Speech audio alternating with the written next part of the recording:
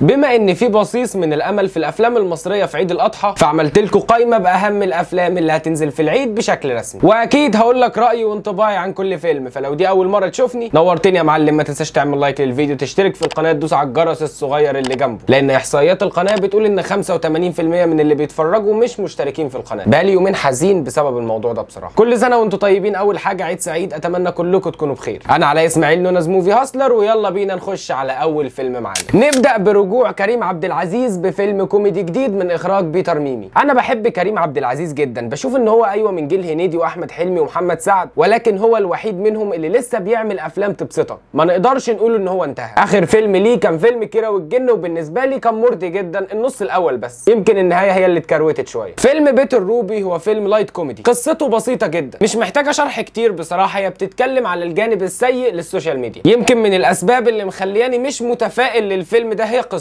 عارف لما الفيلم تبقى قصته بسيطة جدا؟ لدرجة إن أنت مهما حطيت في الفيلم ممثل قوي فمش هيقدر إن هو يشيل الفيلم لوحده. الفيلم هيجمع ممثلين كتير. عندنا كريم محمود عبد العزيز وتارا عماد ومحمد عبد الرحمن. وكمان في ظهور لمنى الشاذلي. عندنا شريف الدسوقي وحاتم صلاح وسارة عبد الرحمن. بصراحة أنا خايف من الفيلم ده لأن الإعلان ما كانش أحسن حاجة. الكوميديا اللي فيه تقليدية ما شفتش حاجة جديدة. الكوميديا اللي كانت في الفيلم كأنها كلها من الفيسبوك. بشوفها كل يوم في post شكل. بس خلينا ما نسبقش الأحداث. ونستنى نشوف الفيلم. يمكن الإعلان هو اللي مش مبين لنا الحاجات الإيجابية الموجودة. نروح للفيلم التاني معانا وهو الوحيد في القايمة دي اللي مش مصري. بصراحة أنا كنت عايز أتكلم عليه فما لقيتش مناسبة يعني. فخلونا نتكلم عن فيلم Indiana Jones and the Dial of Destiny جزء جديد من السلسلة والمرة دي إنديانا جونز في مغامرة جديدة مع بنته هيلينا في مواجهة راجل خطير اسمه فولر. الفيلم من إخراج جيمس مانجولد وأكيد من بطولة هاريسون فورد. وبيقوم بدور الشخصية الشريرة في الفيلم هو الممثل مادس ميكلسن. أكيد لو بتحب السلسلة هتروح تتفرج على الفيلم. بس السؤال هنا هل بيتم حلب السلسلة ولا لا؟ أتمنى إن ده ما يحصلش. على الأقل الجزء ده ما يكونش هو أسوأ جزء في السلسلة كلها. فالفيلم ده risk نوعا ما هل تشوفه ولا لا؟ ونروح للفيلم الثالث ونرجع للأفلام المصرية معانا فيلم مستر إكس. إعلان الفيلم ده أنا شفته في السينما لما كنت بتفرج على فيلم The Flash وحقيقي أنا ضحكت كذا مرة. مستر إكس من إخراج أحمد عبد الوهاب ومن بطولة أحمد فهمي. فيلم كوميدي رومانسي نوعا ما عن قصة حب بتحصل بين رجل عصابات وبين محامية. فبيحاول إن هو يحميها بقى من شغله ومن كل الخطر اللي هيقابلها. الفيلم فيه نجوم كتير زي بيومي فؤاد وهنا الزاهد ورحاب الجمل ومحمود حافظ وأوس أوس وصبري فواز ومصطفى خاطر ومحمد أنور. إعلان الفيلم عجبني جدا الكوميديا اللي فيه مختلفة عن باقي الأفلام اللي نازلة. ولو إن المنافسة هتكون صعبة جدا على أحمد فهمي قدام فيلم كريم عبد العزيز. بس مع كل الاحترام لكريم عبد العزيز لو فيلمه ما كانش على قد التوقعات فأنا شايف إن أحمد فهمي ممكن يسرق منه الأجواء. كمان محمد أنور اللي موجود في الفيلم بيقول إن في عدد كبير من النجوم وكمان ضيوف الشرف مش بس الممثلين اللي ظهروا في الإعلان. وبيقول إن الفيلم مش مجرد فيلم عيد هينزل هو من الأفلام اللي بتعيش ونادر وصعب يتكرر تاني. أنا عمال أقول تصريحه بصراحة وأنا مش مصدقه. حسيتك كبرت الموضوع شوية على فيلم كوميدي نازل في العيد. نخش على الفيلم الرابع وأمير كرارة بعد أربع سنين غياب عن السينما من فيلم كازابلانكا الأخير بيرجع لنا السنة دي ببطولة فيلم جديد اسمه البعبع. فيلم جديد ومختلف على أمير كرارة وتصنيفه light كوميدي بيقوم بدور شخصية مجرم اسمه سلطان. بيتوب بس بتقابله بقى مشاكل كتير في حياته الفيلم من إخراج حسين المنباوي وفي نجوم كتير في الفيلم منهم باسم سمرة وياسمين صبري وعباس أبو الحسن ومحمد عبد الرحمن ونجوم تانيين. وبالمناسبة فمخرج الفيلم هو نفسه مخرج مسلسل سوق الكانتو اللي شفته بصراحة ما نجحش في أي شيء غير الأزياء والديكور. غير كده المسلسل كان فقير دراميا ما فيهوش خطوط أحداث كتير. بس poster الفيلم بصراحة أنا حاسس إن أنا شفته في 100 مرة قبل كده. يعني من النظرة الأولى كده لل poster افتكرت فيلم Free Guy لرايان رينولدز. بس ما علينا يعني من الموضوع ده فخلينا نشوف. والفيلم الخامس معانا بنشوف ياسمين صبري في فيلم جديد وهو فيلم أبو نسب. وهو ثالث فيلم ليها مع محمد إمام بعد فيلم جحيم في الهند وليلة هنا وسرور. فيلم من تأليف أيمن وتار اللي عنده أفلام كتير قبل كده زي فضل ونعمة ونادي الرجال السري والبعض لا يذهب للمأذون مرتين. أنا شايف إن الفيلم ده مش متسوق له كويس. مش شايف حد بيتكلم عنه بصراحة وبيني وبينكم كده يعني أنا غالبا مش هتفرج على الفيلم ده. في أسباب كتير يعني تخليني ما اتحمسش إن أنا أخش أي فيلم مصري في العيد. فخلينا نكمل باقي الأفلام. قبل ما نروح للفيلم السادس ويمكن هو الأشهر في القايمة الفترة الأخيرة. لو لسه مش مشترك في القناة فخلينا بقى نوصل 60000 subscriber. واعمل like للفيديو كده وروق عليه. عشان دلوقتي داخلين على خناق. كنت هكلمكم عن فيلم ع الزيرو لمحمد رمضان ولكن الفيلم خرج من سباق العيد. فخلاص بما إن هو هيتأخر مش هنتكلم عنه دلوقتي. نخش بقى على الفيلم الأشهر واللي عامل قلق اليومين اللي فات فيلم تامر حسني الجديد تاج. أول super hero مصري ده على كلامهم يعني. لكن إحنا عارفين إن الراجل العناب هو رقم واحد. لو في Justice League بقى عملوها في مصر لازم يحطوا الرجل العناب معاهم. لازم لازم يبقى ليه وضعه كده فاهم؟ أظن أغلبنا شاف الإعلان واللقطة الأولى لتامر حسني وهو بياكل كشري. كده ما بقاش Deadpool يعني ولا إيه؟ أنتوا اللي بتخلوا الناس تقعد تقارن بين الأفلام المصرية والأجنبي لأن حرفيا في شبه كبير. يعني أنت كده لما غيرت لي الأكل بتاع Deadpool أو ايا كان وحطيت لي كشري أنا كده ما عرفتش؟ فيلم تاج تصنيفه كوميدي بس بما إن هو فيلم super hero فأكيد هيكون فيه أكشن. الفيلم من بطولة تامر حسني أكيد يعني مش محتاجة. وبيومي فؤاد وساندي ونجوم تانيين. وبصراحة لو الفيلم ده يعني كان محطوط له ميزانية كبيرة متنفذ بجودة عالية يعني كنت شايف إن هم محتاجين ممثلين أقوى من كده مع تامر حسني. لأن أنت كده حرفيا مديني صورة إن الفيلم نازل في العيد يلم فلوس ويخلع. حتى البوستر اللي نزل للفيلم من يومين من أسوأ البوسترات اللي أنا شفتها في حياتي. بقى دي ألوان فيلم super hero أو حتى وضعية التصوير البدائية يعني ما فيهاش أي تجديد أو هوية للبطل الخارق. ده غير إن هو واقف شايل عربية. أنا مش متفائل ب 2 جنيه بصراحة مش هكدب عليك. نروح للفيلم السابع معانا وفيلم من إخراج عمرو سلامة. ولحد وقت تصوير الفيديو أنا مش متأكد رسميا هل الفيلم نازل في العيد ولا هيتأجل. فيلم شماريخ من بطولة آسر ياسين وأمينة خليل وخالد الصاوي ومعاهم أدهم الشرقاوي. وفي ظهور للممثل مصطفى درويش الله يرحمه. تصنيف الفيلم درامي أكشن وأتوقع إن هو هيكون مختلف عن باقي كل الأفلام اللي اتكلمنا عليها. اللي أغلبها كوميدي أو كلها تقريبا. عامة في العيد قليل لما بنشوف فيلم نازل بياخد ال risk وبيكون تصنيفه مش كوميدي. لأن في موسم العيد ده تحديدا بيبقى اللي خارج من امتحانات واللي واخد أجازة من الشغل. فكله حرفيا داخل السينما عايز يفصل. أحلامنا بسيطة والله نخش السينما نتفرج على فيلم مصري فعلا يضحكنا الأفلام المصرية اللي فيها كوميديا تضحكك فعلا بقت ممنوعات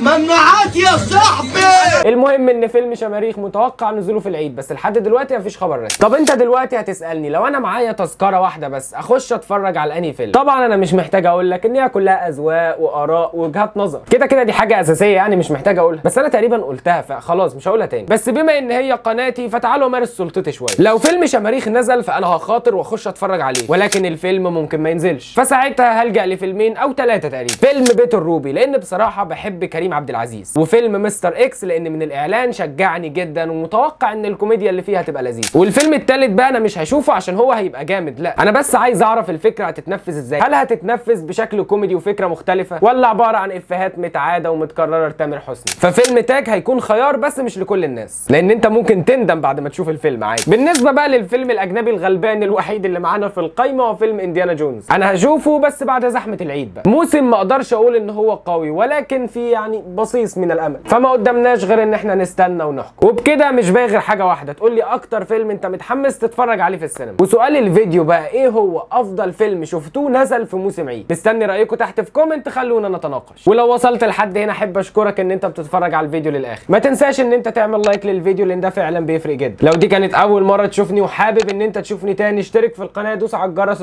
الصغير اللي جنبه. أنا علاء إسماعيل known as Movie Hustler ما تنساش تعمل لي follow على انستجرام وفيسبوك وتيك توك بنزل هناك محتوى بشكل يومي. محتوى حلو وبسمسم. أشوفكم في فيديو جديد. أتمنى تكونوا بخير كل سنة وأنتم طيبين وعيد سعيد. مع السلامة.